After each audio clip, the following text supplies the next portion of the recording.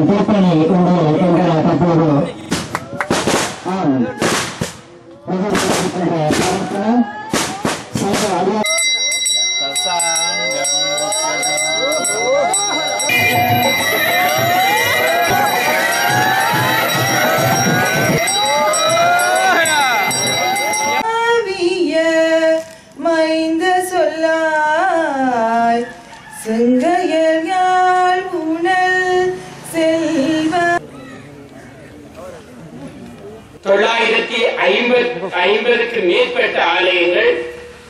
தற்போது இந்து கலாச்சார திணைக்களத்திலே பதிவு செய்யப்பட்டிருக்கிறது.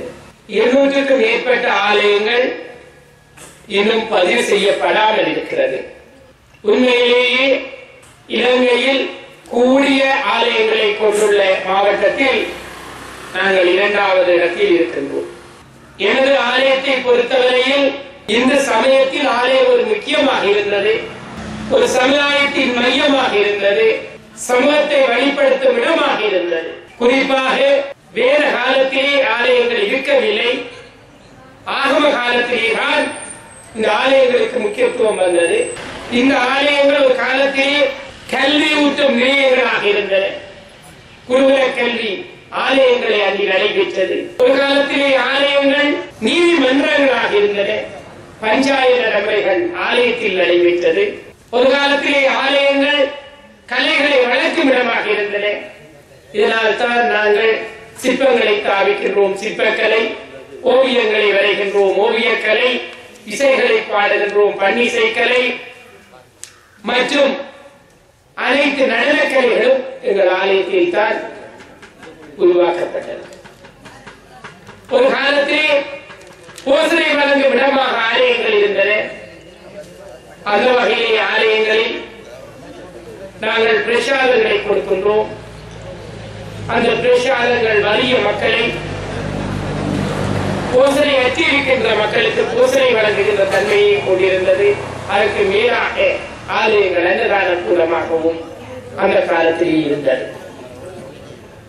நாங்கள் இவ்வாறு ஆலயங்களை பார்க்கும் போது ஆலயங்கள் சமுதாயத்தின் பெரும் மையமாக இருந்தது. இதனால் ஆலயங்களை பராமரிப்பவர்களை அந்த காலத்திலே தர்மகர்த்தாக்கள் என்று சொன்னார்கள். அந்த நிலைமை மாறி தற்காலத்திலே எல்லா ஆலயங்களிலும் ஆலய பரிபாலன சபைகள் தான் நியமிக்கப்பட்டிருக்கிறார் நாங்கள் விரும்புவது தர்மகர்த்தாவை நான் நேர்மையாக இருந்தால் நான் பக்தி உள்ளவனாக இருந்தால் நான் தூய்மையானவனாக இருந்தால் நான் என்னை திருத்திக் கொண்டால் மற்றவர்களுக்கு உபதேசிக்கின்ற கடமை எனக்கு இருக்கின்றது. அந்த வகையிலே ஆலயங்களின் தர்மகர்த்தாக்கள் என்று சொல்பவர் அந்த கிராமத்திலே ஒரு நல்ல நீதிமானாக ஒரு தர்மமானாக நேர்மையாளராக எல்லோரும் மதிக்கக்கூடியவராக இருப்பார். அதனால்தான் ஆலயங்களிலே தர்மகத்தாக்கள் இருக்கிறார்கள் தர்மகத்தாவாக வாழார் என்றால் அந்த கிராம மக்கள் எல்லாம் மதிப்பளிப்பார்கள். அந்த நிலைமைகள் எல்லா இடமும் மாறிவிட்டது. ஆலயங்கள் பரிபாலன சபைகள் இருக்கின்ற நிலைமையில் வந்தபடியினால் ஆலயங்களின் தர்மகத்தாக்கள் இருக்கிற பரிபாலன சபையினர்கள் ஆலய கும்பாபிஷேகம் புனரமைப்பு பூஜை என்பவற்றோடு நின்று விடுகிறார்கள். நாங்கள் இதிலிருந்து மாற்றத்தை வேண்டுகின்றோம். ஆலயங்கள் சமுதாயத்தின் மையமாக வர வேண்டும். மக்களுக்கு சகல விதமான விடயங்களையும் அமுல்படுத்துகின்ற திட்டமிடுகின்ற ஒரு இடமாக இந்த ஆலயங்கள் வர வேண்டும் என்றுதான் நாங்கள் எதிர்பார்க்கின்றோம். ஆலயங்கள் பொது சேவைகளை செய்ய வேண்டும் என்று எதிர்பார்க்கின்றோம். என்று கடந்த கால யுத்த சூழல்கள் இயற்கை அனர்த்தங்கள் எங்கள் மக்களை பாரிய பின்னடைவில் கொண்டு சென்றிருக்கின்றன. ஆனால் அந்த காலங்களில் நாங்கள் சிந்திக்கலாம். எமது மாவட்டத்தில் எத்தனை ஆலயங்கள் பொதுப்பணி செய்தது என்றால் அது கேள்விக்குறியாகவே இருக்கின்றது. உங்களுக்கு நான் கூற வேண்டும் இந்த பரிச்சேரி கிராமத்திற்கு அண்மையிலே கடந்த கால யுத்த சூழலால் பாதிக்கப்பட்ட பல முகாம்கள் ஸ்தாபிக்கப்பட்டது. அந்த முகாம்களிலே நான்கு முகாம்களை நாங்கள் பராமரித்தோம் மட்டக்களப்பு மாவட்ட இந்து இளைஞர் பேரவை கிட்டத்தட்ட ஆறாயிரம் குடும்பங்கள் இந்த மாவட்டத்தில் எங்களால் பராமரிக்கப்பட்டது. ஏனைய குடும்பங்களுக்கு நாங்கள் உதவிகளை வழங்கிக் கொண்டிருந்தோம். அந்த வேளையிலே நாங்கள் மக்களுக்கு உதவுவதற்காக சில ஆலயங்களுக்கு சென்றோம்.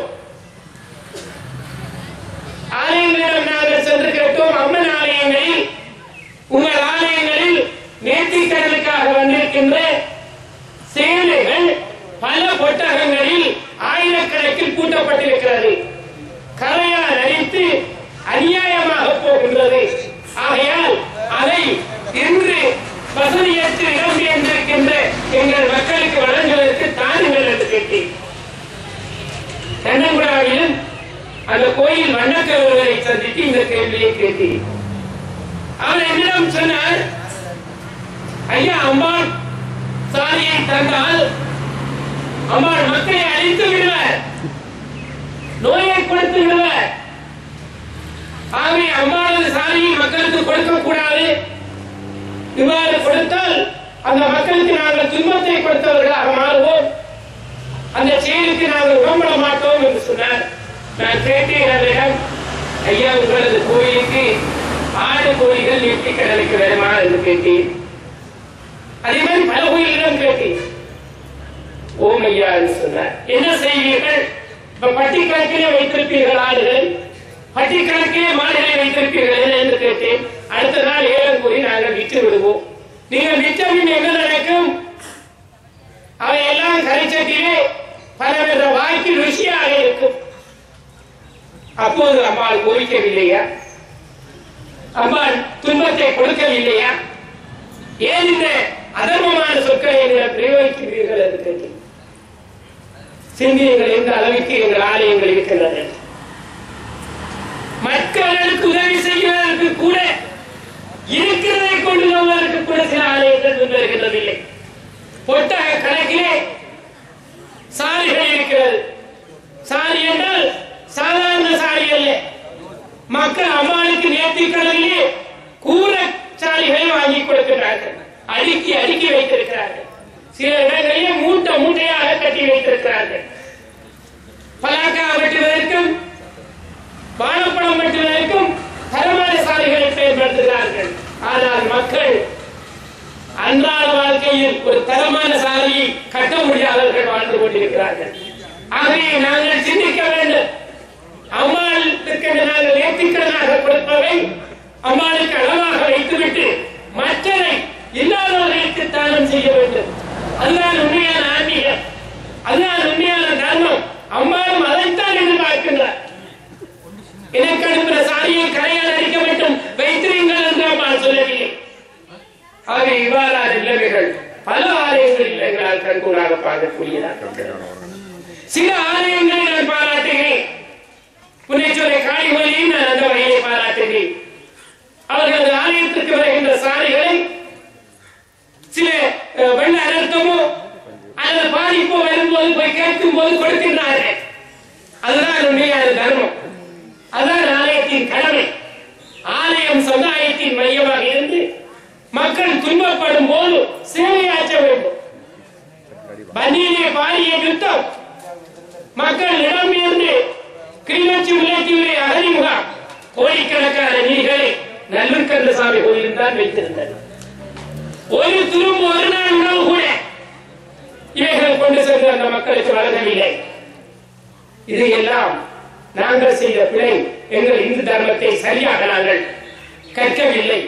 மக்களுக்கு உபதேசிக்கவில்லை இதன் பிரதிபலன் தான் நாங்கள் ஆலயங்களை உங்களது வருமானங்களில் இருந்து ஒரு சிறு தொகையாவது உங்கள் கிராமங்களில் இருக்கின்ற வறிய மக்களுக்கு அவர்களின் வாழ்வாதாரத்திற்காக அவர்களது கல்வி வளர்ச்சிக்காக அவர்களது பொருளாதார மேம்பாட்டுக்காக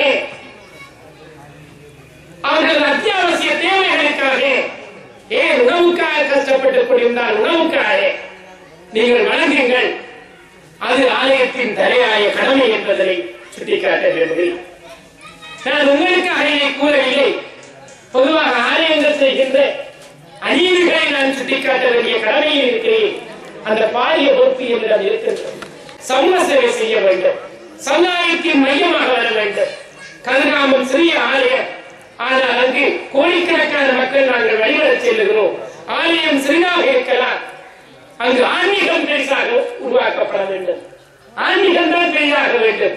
ஆலயத்தை பிரம்மாண்டமாக கொண்டு சென்று ஆன்மீகத்தை குறுகியதாக வைத்திருப்பதில் பிரயோசனமில்லை ஒரு இந்த ஆலயம் எங்கள் பகுதியில் இருக்குமா இருந்தால் அந்த பகுதியிலே மதமாற்றம் நடைபெறுவதாக இருந்தால் இந்துக்கள் மதமாற்றப்படுகிறார்கள் என்றால் அது அந்த ஆலய தர்மகத்தாவின் குறைவாகும் குறைபாடாகும் ஆலய நிர்வாகத்தின் குறைபாடாகும் அவ்வாறு எங்கள் பகுதியிலே மதமாற்றத்திற்காக பிரச்சாரம் செய்ய வருபவர்களை நீங்கள் திருப்பி அனுப்ப வேண்டும். இது இந்து பூமி இந்து மக்கள் வாழும் பூமி நீங்கள் இங்கு வந்து மதமாற்றத்துக்கு பிரச்சாரம் செய்ய வேண்டாம் என்று சொல்லுங்கள். நீங்கள் பாருங்கள் மதமாற்றத்திற்காக வீடுகளில் சென்று துண்டு பிரசுரங்களை கொடுத்து கட்டாயப்படுத்தி பிரச்சாரங்களை எல்லாம் செய்கின்ற சிலர் காத்தாங்குடியில் போய் அவர்கள் பிரச்சாரம் செய்வார்களா ஓட்டமாவடியில் சென்று பிரச்சாரம் செய்வார்களா ஏனாவூரில் முஸ்லிம் பகுதிகளில் சென்று பிரச்சாரம் செய்வார்களா? நிச்சயமாக செல்ல மாட்டார்கள். ஏன் எங்களிடம் வாழார்கள் நாங்கள் எங்கள் சமயத்தை அறியாமல் இருப்பதன் காரணமாக. எங்கள் சமயத்தை மேன்மையை உணராமல் இருப்பதன் காரணமாக எங்களிடம் வருகின்றார்கள். ஆகவே அதிலெல்லாம் வெளிப்போடு இருக்க வேண்டும்.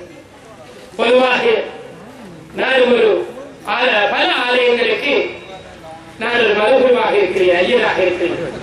இப்ப ஒரு பாராளுமன்ற உறுப்பினராக இருந்தாலும் பல கோயில்களின் வரலாறு சடங்குகளை நடாத்தி வருகின்றேன் காளியம்மா சடங்கு எனது முக்கியமான சடங்காக இருக்கிறது அந்த வகையில் இந்த அம்மாளின் தேவஸ்தானம் அமைக்கப்படுவது வரவேற்கத்தக்கது அந்த வகையில் எதிர்காலத்தில் என்னால் இயன்ற அளவு ஆதரவை வழங்குவதற்கு தயாராக இருக்கிறேன் உங்கள் எல்லோருக்கும் தெரியும் என்னிடம் கூடுதலாக வருபவர்கள் கோயிலுக்குத்தான் உதவி வருகிறார்கள். நான் எங்கள் கௌரவ பாராளுமன்ற உறுப்பினரிடம் பாடசாலைக்கு கூடுதலாக செய்கிறார்கள் அவர் பாடசாலை நிர்வாகத்தோடு சேர்ந்தவர் நான் ஆன்மீகத்தோடு சேர்ந்தவர் என்ற வகையினால் என்னிடம் கோயிலுக்குத்தான் கேட்டு வருகிறார்கள். நான் எனக்கு தரப்படுகின்ற பன்முக நிதியை எல்லா இடங்களுக்கும் பரவலாக கொடுக்க வேண்டும்.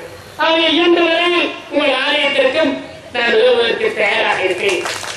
அதே வேளையில் வேறு எங்காலும் உங்களை பெற்றுத் தர முடியுமோ முயற்சிகளை மேற்கொள்கிறேன் நாங்கள் எல்லாம் ஆன்மீகத்துக்குமாக மக்களின் சேவைக்காக வெளிநாடுகளில் நாங்கள் கௌரவமாக பிச்சை எடுப்பவர்கள் பலருக்கு தெரியாது நாங்களும் அங்கு பல பதினைந்து தரம் இருபது தரம் கையில் எழுதுவோம் இந்த தொலைபேசியை மத்தியால கணக்கில் எஞ்சுவோம் இந்த மக்களுக்கு இதற்கு உதவி செய்யுங்கள் அவ்வாறு பிச்சை எடுத்துத்தான் சில உதவிகளை நாங்கள் மக்களுக்கு வழங்கி வருகிறோம் கடந்த அண்மையில் கூட ஒரு ஆலயம் சம்பந்தமாக நான் வெளியில் அழைத்திருந்தேன். நீண்ட காலமாக.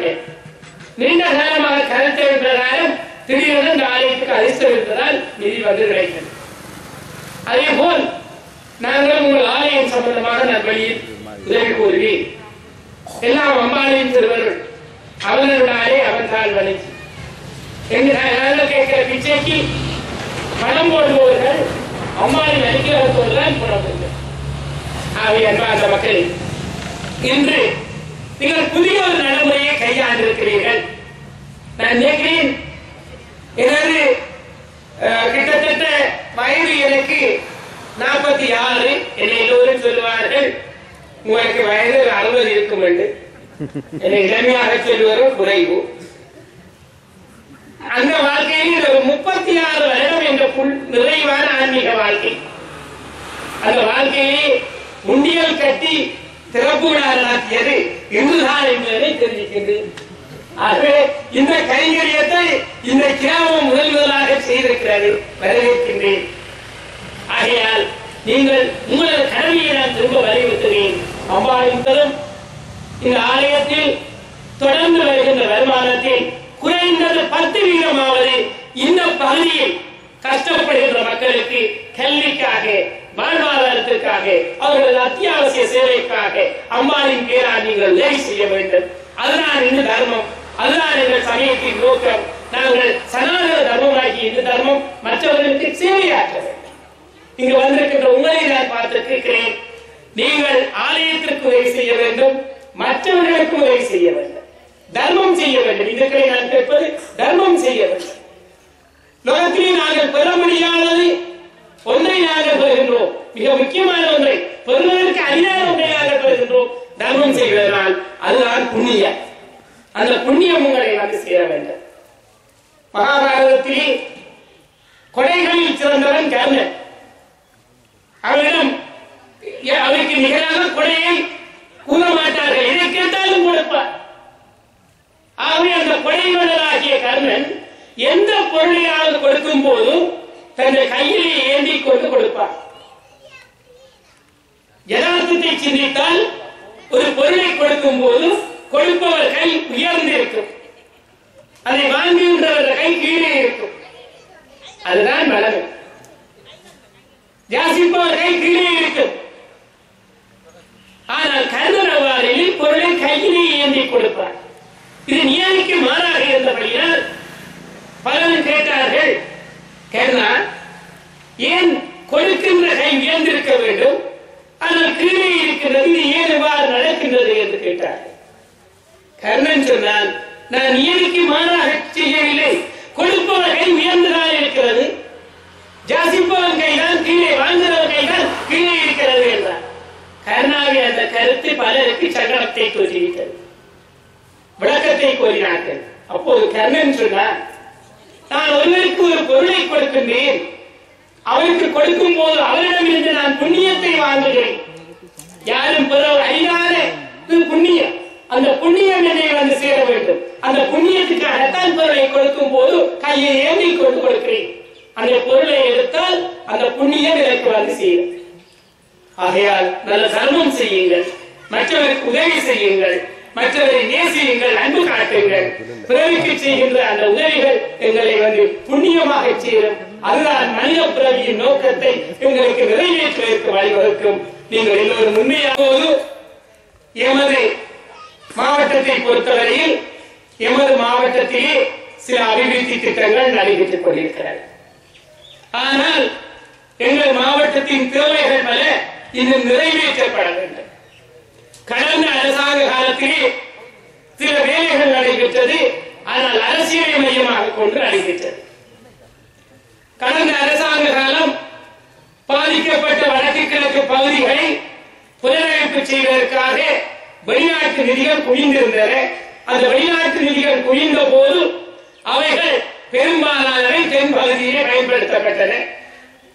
குறைந்த அளவானவை வடக்கு கிழக்கிலே பயன்படுத்தப்பட்டன. ஆனால் தற்போது பரவலாக வடக்கு கிழக்கு பகுதிக்கான அபிவிருத்தி வேலைகளை மேற்கொள்ள வேண்டும் என்பதில் தமிழ் தேசிய கூட்டமைப்பு மிகவும் ஆர்வமாக செயல்படுகிறது கடந்த அரசாங்கத்திலே அரசாங்கத்தின் பிரதிநிதிகள் மாவட்ட அபிவிருத்தி குழு தலைவர்களை எல்லாம் நியமித்தார்கள். அவர்கள் மாவட்டத்தின் அபிவிருத்தியில் என்னென்ன நடக்க வேண்டும் என்பதை அவர்கள் திட்டமிட்டு செயல்பட்டார்கள் ஆனால் தற்கால நல்லாட்சி அரசாங்கத்திலே இரண்டு பிரதான கட்சிகள் இணைந்திருக்கின்றன. அவை இரண்டு ஒன்று சுல்லங்கா சுதந்திர கட்சி மற்றது ஐக்கிய தேசிய கட்சி. அதனால் இன்று மாவட்ட அபிவிருத்தி குழு தலைமை அஹ், தலைவர் என்கின்ற பதவி தலைமைகள் என்று மாறிவிட்டது. பலர் உருவாகிவிட்டார்கள். மஹிந்த ராஜபக்ஷ அரசாங்க காலத்திலே பாராளுமன்ற உறுப்பினர் தான் மாவட்ட அபிவிருத்தி தலைவராக இருக்கலாம். அவ்வாறு இருந்தது. ஆனால் தற்போது பாராளுமன்ற உறுப்பினர் அல்லாதவர்களும் அநேகமாக ஒரு பகுதியிலே ஒரு கட்சி சார்பாக இருக்கின்ற ஒரு அரசியல் அங்கத்தவரும் இந்த மாவட்ட அபிவிருத்தி குழு தலைமைக்கு வரலாம் என்கின்ற ஒரு நிலைமை உருவாக்கப்பட்டிருக்கிறது. இதன் துரதிருஷ்டவசம் என்னவென்றால் மட்டக்களப்பு மாவட்டத்திலே நான்கு மாவட்ட அபிவிருத்தி குழு தலைவர்கள் இருக்கின்றார்கள். மாவட்ட அபிவிருத்தி சம்பந்தமாக தீர்மானிப்பதற்கு இருவர்கள் மாவட்டத்தைச் சேர்ந்தவர்கள்.